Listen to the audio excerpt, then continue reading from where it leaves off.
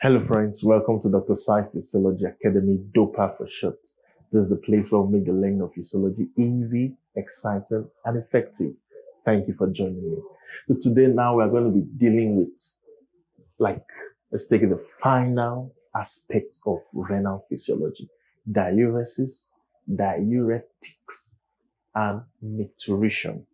Alright? So always remember that learning about how the body functions, which is what physiology is all about, can teach you vital health lessons, life lessons, and even management lessons. So let's get started. So diuresis. What is diuresis? Diuresis. It simply means excess urination.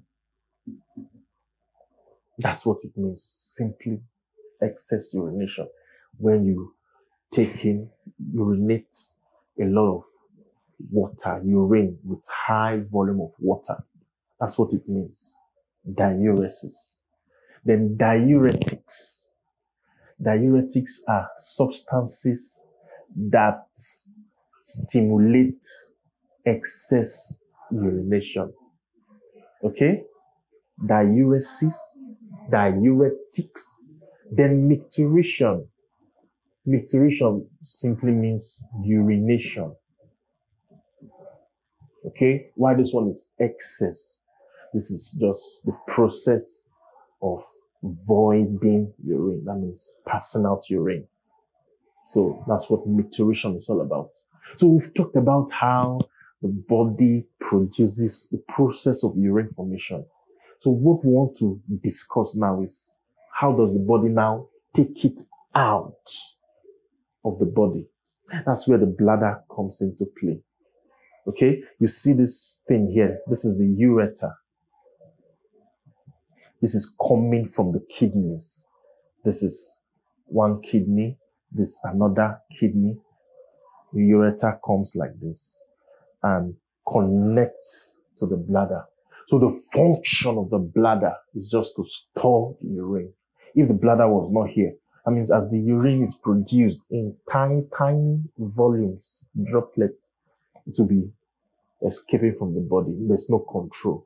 So this bladder helps to store it till when there is now what is known as a micturition micturition reflex. Micturition means a reflex that initiates the emptying of the bladder. So that's what we're going to focus on when we're dealing with micturition. But let's start from diuresis. There are important things we need to learn from there. So in diuresis, there are three types of diuresis. One of them, let's use this. Number one, water diuresis. Number two, osmotic. Osmotic diuresis. Three, you have pressure diuresis. What does this mean? You need to know about it because it will help you even in your clinical practice. So what does water diuresis mean? It means the excretion of excess free water.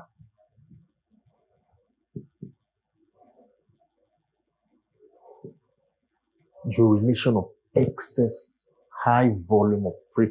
When we talk about free water, we're talking about the fact that the water there is lacking in a lot of solutes. It's very dilute water. So they're just excreting. And what causes water diuresis? When you take, just imagine that I sit down now and we are doing water drinking competition or alcohol drinking competition. I sit down with my friends and we are playing the game and, oh, if you fail it, you will drink one cup of water. So you keep drinking, drinking. What will happen? You start, before you know it, you urinate. After 15 minutes, you go again. So that is water diuresis. Okay? So what happens is that because of the amount of water you have taken in, it enters into the bloodstream and it dilutes the ECF. Remember in the last lecture, I think the last lecture eight, talked about the maintenance of ECF osmolarity. So addition of excess water dilutes it. That does what? It inhibits ADH production. So when ADH production is inhibited, water cannot be reabsorbed at the distal tubule, that's the late distal tubule, and the collecting duct. So you excrete more dilute urine. So that's what happens. So that's water diuresis, urination of very dilute urine because of excess intake of either water or alcohol. In alcohol, 90 something percent is water. Okay? So osmotic diuresis. Osmosis from the word osmosis. What does osmosis mean? Osmosis means that there is a membrane separating two compartments. One compartment has a certain amount of solute. Let's say this is compartment one, compartment two. This compartment one has a high concentration of solute. This one has very little concentration of solute, which means that water to favor the movement of water into compartment one. So osmotic diuresis, it means that when the tubules, the nephrons, those, the renal tubule, when it contains a substance that is easily filtered, let's say this is the tubule, this is the glomerulus, okay? So this is the tubule, and so on. So that substance is filtered freely into the tubule, but that substance, it is difficult for that substance to be reabsorbed.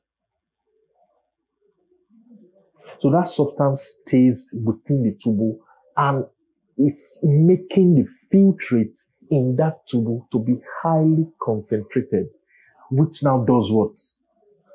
It drags water. It drags water into so it rather it prevents water from being reabsorbed. You know, water is reabsorbed in all other parts of the body. So it prevents water from being reabsorbed and can even drag in some water. So that's what happens. But this plays role in cortical nephrons. Why? Because in juxtamedullary nephrons that are just 15%, the high renal osmotic gradient is by far higher than any osmolarity the tubule can ever get to. So it doesn't really affect it. That's for the um, um, juxtamedullary.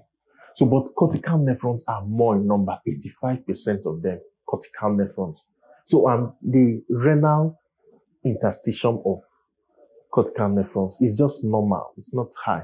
So when you have this tubule having higher osmolarity, it prevents reabsorption of water, which now causes more water to be excreted in the urine. So you have more excretion of water plus that solute that is making that place concentrate. That's osmotic diuresis. All right. So what is pressure diuresis? This is how it happens. This pressure diuresis happens more as it relates to the juxtamedullary nephrons. Now, those juxtamedullary nephrons, you know that they have a high renal osmotic gradient, the interstitium there.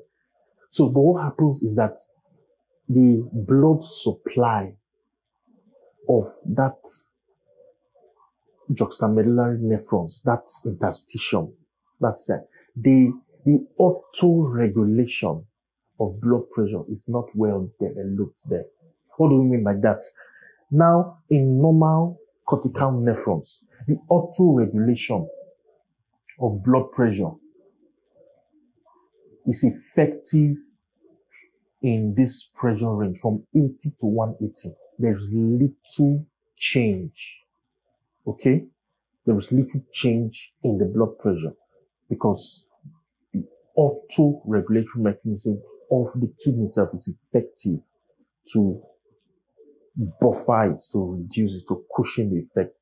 But in that interstitial, uh, um, interstitium, renal interstitial of juxtamedullary nephron, the blood supply there is not effective in this auto-regulatory mechanism. So when blood pressure increases to say 150, 160, 180, it does what? It will lead to a washing out of that high gradient. So that high gradient there becomes dilute. And once you don't no longer have that high gradient, urine cannot be concentrated at that point. You know, the high gradient there is what enables the concentration of urine because it makes the reabsorption of water possible.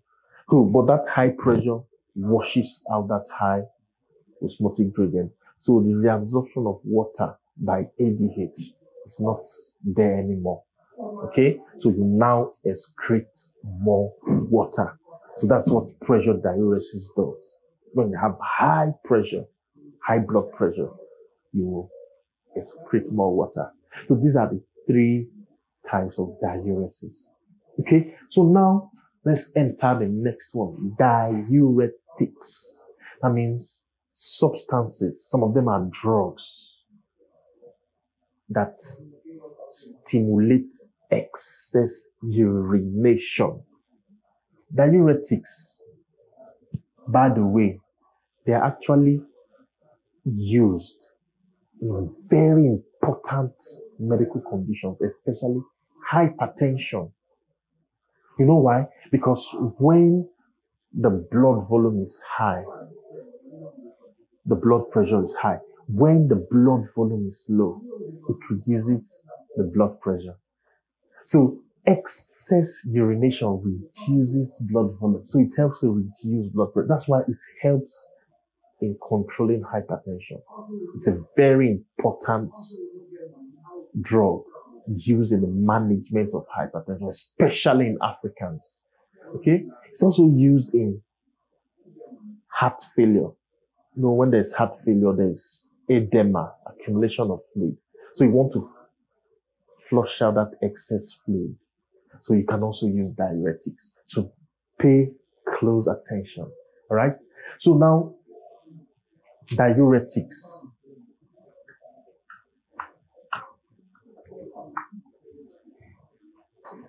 The amazing thing about diuretics is that the way they function is related to those reabsorption mechanisms, reabsorption mechanisms of the renal tubule. So the different types of diuretics, they play role in the different segments. And most of them, interestingly, they are related to the absorption of sodium. Why are they related to the absorption of sodium? You remember that we said that wherever sodium goes, water goes. So if sodium is retained, water is retained. If sodium is lost, water is lost. So that's the secret. So we're going to outline five different diuretics and three of them are related to the excretion of sodium. All right. So let's use this simple acronym. Coal. Okay. Then you add T to it. Cold. So number one, you have what is called carbonic anhydrase inhibitors. That's the C. Then the O, you have osmotic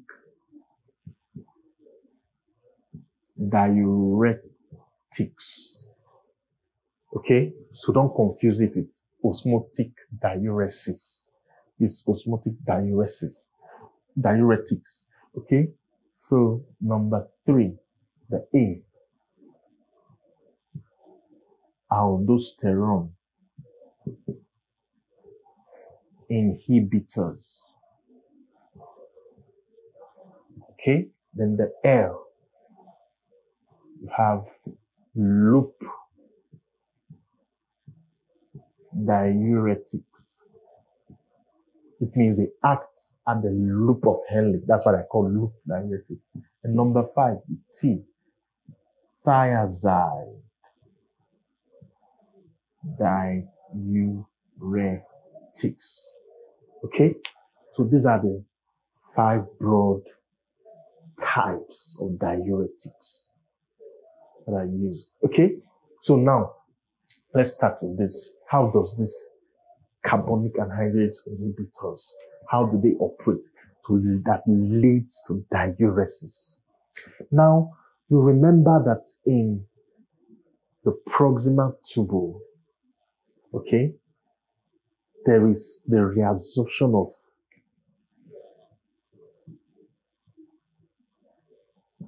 bicarbonate. Okay? So when bicarbonate is reabsorbed, what happens is that the process of reabsorption of bicarbonate is indirect in the sense that it splits, it combines with H to give you carbonic acid, which then splits into CO2 and water. Then these ones now cross the membrane and recombine to give the bicarbonate. But what happens is that this reaction here is catalyzed by an enzyme called carbonic anhydrase. Okay? So carbonic and hydrase is the enzyme that facilitates this reaction that leads to the reabsorption of bicarbonate. So when this enzyme is inhibited by these carbonic anhydrase inhibitors, bicarbonate will not be reabsorbed. And if bicarbonate is not reabsorbed, it increases the osmotic pressure of the tubule. When this osmotic pressure of the tubule is increased, water is, it is difficult for water to be reabsorbed. So it causes osmotic diuresis and excess, plenty of water is excreted. You have diarrhea. So that's how it operates. So it's similar to this osmotic diuretics. So in a way, you can also call it an osmotic diuretic. Just that it's special in the sense that it inhibits an enzyme. But this one does not inhibit any enzyme. Osmotic diuretics are very direct. Okay, what happens to osmo with osmotic diuretics? Those are substances that, like we said when we we're explaining osmotic diuresis, that when you take them, they are filtered freely from the, in the nephrons, that's glomerular filtration, but they are not reabsorbed. They stay there in the renal tubule, causing a lot of osmotic pressure that prevents reabsorption of water. So what happens? Water is not easily reabsorbed and excess water is excreted. A good example of this is called mannitol. Mannitol. Most times they use mannitol clinically in the hospital to treat cerebral edema. That means accumulation of excess fluid in the brain. So when you give mannitol, it reduces, it reduces it. It brings down that water, reduces the cerebral edema, and the person is better. Okay? So mannitol is a very common good osmotic diuretic. Right? So these last three, hmm, they are involved in control of sodium transport. They influence sodium transport.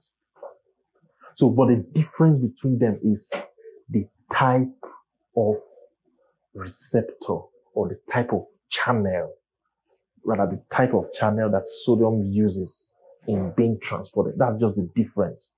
And the segment of the nephron.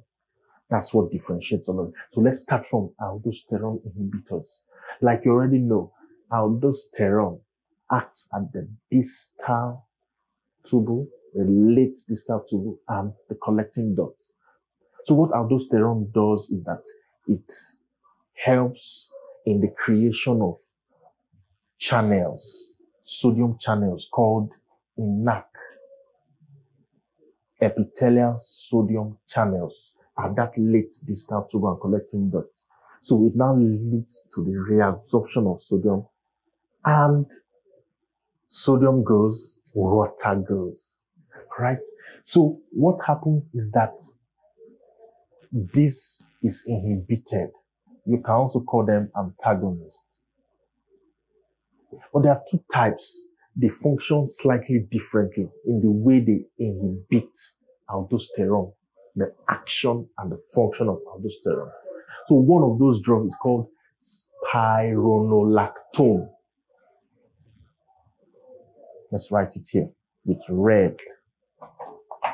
Okay. Spironolactone. What this one does is that this one is aldosterone receptor antagonist or inhibitor in the sense that, you know, the process of how aldosterone acts is that aldosterone is secreted from the adrenal gland. Then it goes to the cell. Let's say this is the renal cells there. Okay. So it goes inside there, acts on, it binds, first of all, it binds to a receptor, aldosterone receptor inside the cell. Then it now stimulates the creation of this channel. So these channels are now inserted from which sodium will be reabsorbed. Sodium will pass through it. So this spironolactone inhibits this receptor that aldosterone will come to bind to. So it prevents the absorption of sodium. So sodium is retained in the tubule, water is retained in the tubule, so excess water is lost. So there's another type of aldosterone antagonist. It's called amiloride. Okay? This one acts differently. This amiloride directly inhibits this ENaC, the epithelial sodium channel. So it doesn't start from inhibiting the receptor, aldosterone receptor. So aldosterone quite alright will go there, bind to its receptor, create a channel, then this one will go and scatter the channel. it inhibits the channel from binding, from allowing sodium to pass. Okay, so that's what happens. So this, but they all have overall final effect of not allowing sodium to be reabsorbed. Sodium is retained in the tubule. Water is also retained. Excess water is passed. So that's how these drugs, they are used in medicine. Those with hypertension, loop diuretics is the next one we're going to talk about. And they are very powerful. Very powerful. So from the name, it means that they act at the loop of Henle. They say this is the loop of Henle. You act at that loop of Henle. So what happens is that remember that the loop of Henle has the thick ascending limb. And that thick ascending limb, want something like special about it is that it pumps a lot of solute into the interstitium. It allows the transport of sodium. Okay? So the channel there, like we mentioned in previous lecture, is the one sodium, one potassium, two chloride channel. That's the channel that is operational at the thick ascending limb. So the loop diuretics, this is what they inhibit. They inhibit this channel. So when they inhibit this channel, sodium cannot pass and be reabsorbed from the tubule through those channel back into the interstitial fluid and into the blood. Okay?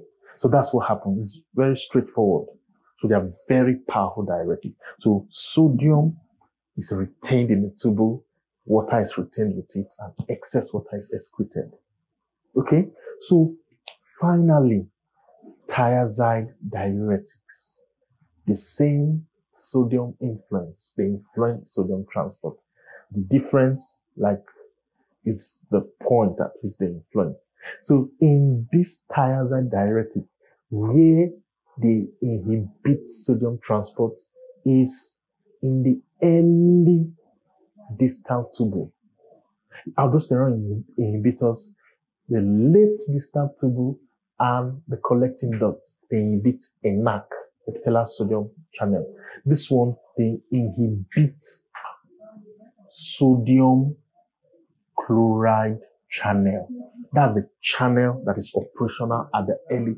So that's what differentiates the thick ascending limb from the early parts. They have a lot of similarities. The only difference is in the channel in which sodium is transported. The thick ascending limb uses this channel. The early distal tube uses this channel, sodium chloride channel. Very simple. Okay. So these thiazide diuretics, they come here and inhibit this channel. Sodium is not transported and reabsorbed. It's retained. Water is retained with it. Excess water is transported. So an example of this, the name is called hydro chlorothiazide. Okay, so an example of the name of this loop diuretics is called furosemide. So you might have heard of it, of the names of this. So we have spironolactone and amiloride for this, furosemide for this, hydrochlorothiazide for that. Then you have mannitol. So these are the different types of diuretics, all acting to excrete and remove excess water. All right. So after this break, we'll now go on to micturition to see what happens, how the body finally removes urine out of the body.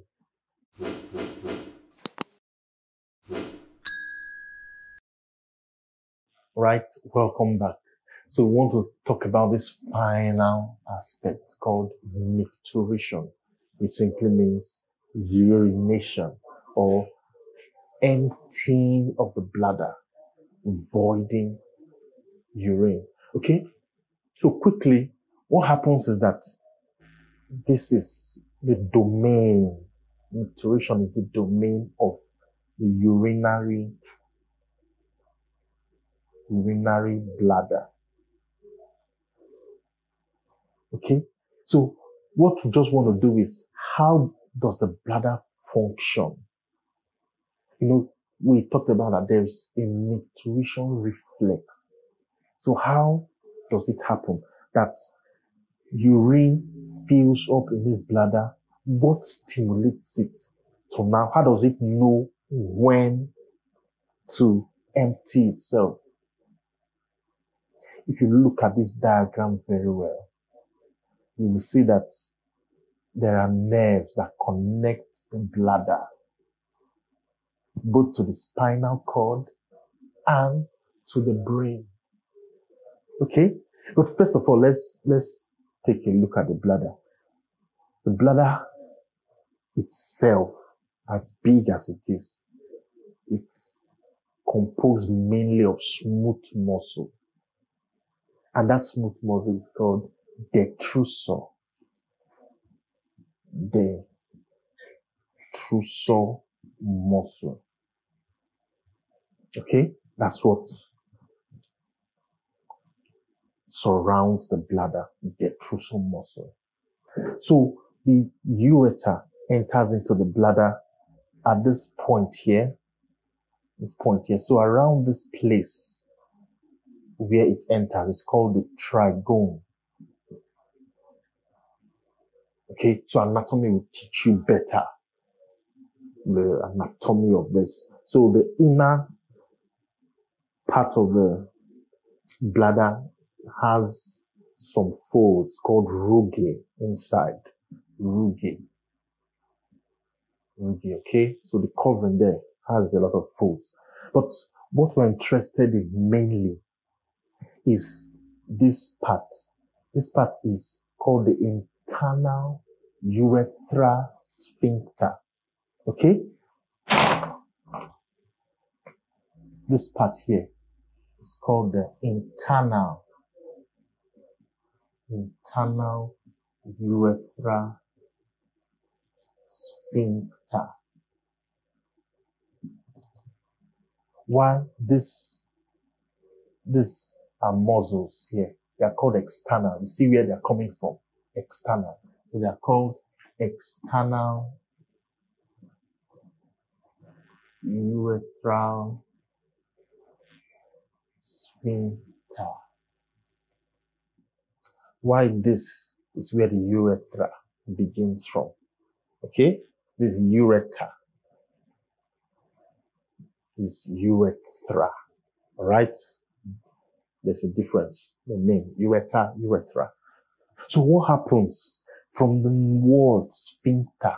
Sphincters, generally, their role is to control the movement of fluids, especially liquids. Okay? So that is, they play a very important role in the control of the passage of urine out of this bladder. So the next thing you ask yourself, the detrusor muscle, what does it do? So this detrusor muscle, hmm, what it does is that it contracts, it initiates its micturition. Then this other one relaxes the sphincter. So they act, they cooperate in the action. But first of all, let's look at these nerves that supply this. Okay? So they are the, the bladder, the micturition process. There are two different types of nerves that help to facilitate it. One is autonomic,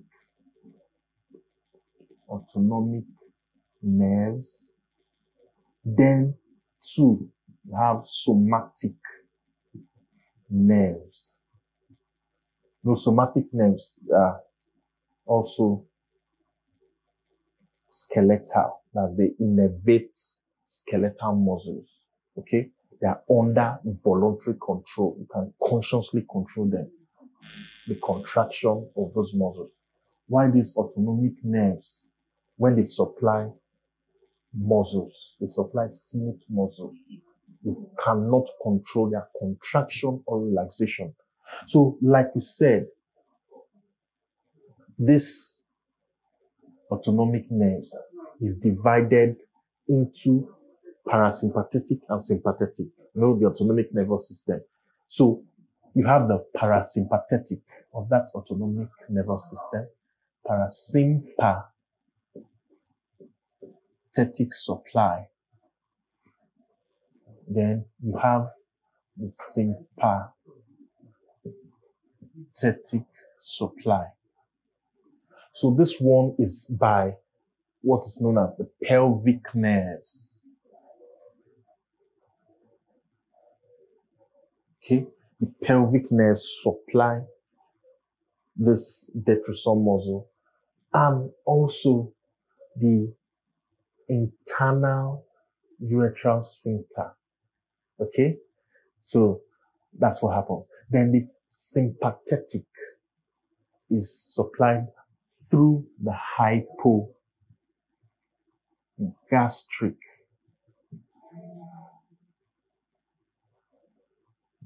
hypogastric nerves. Then this last one, the somatic nerves, supplied by the pudendal nerve. This one here, this external urethral sphincter is supplied by this pudendal nerve. So the function is to close that place so that urine cannot pass until you allow it to pass. no, it's under conscious effort.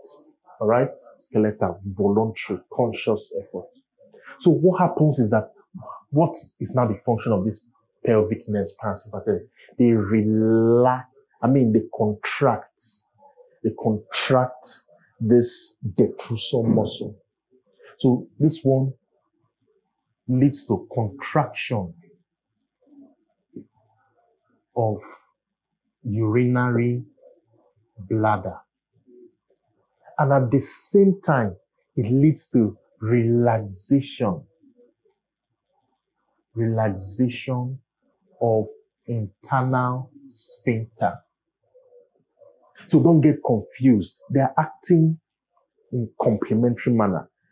So it's called the nerve of emptying because when the bladder contracts, the internal urinary sphincter will relax to give way so that urine can pass. So it's helping the bladder contract through the detrusor muscle and it's now helping the urethral sphincter to relax.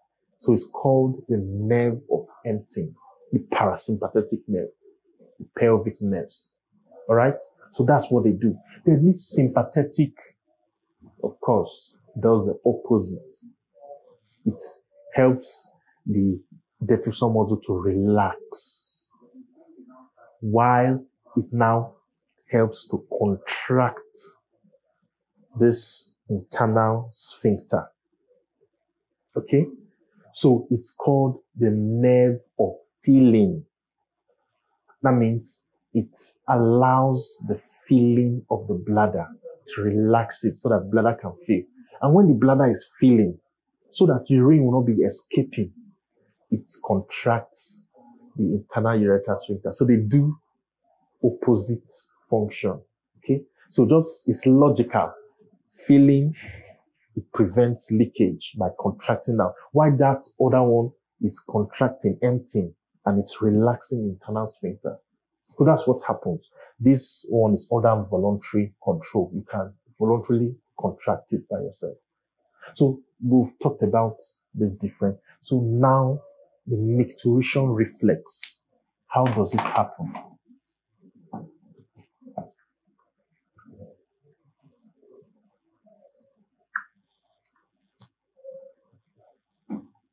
Micturition reflex.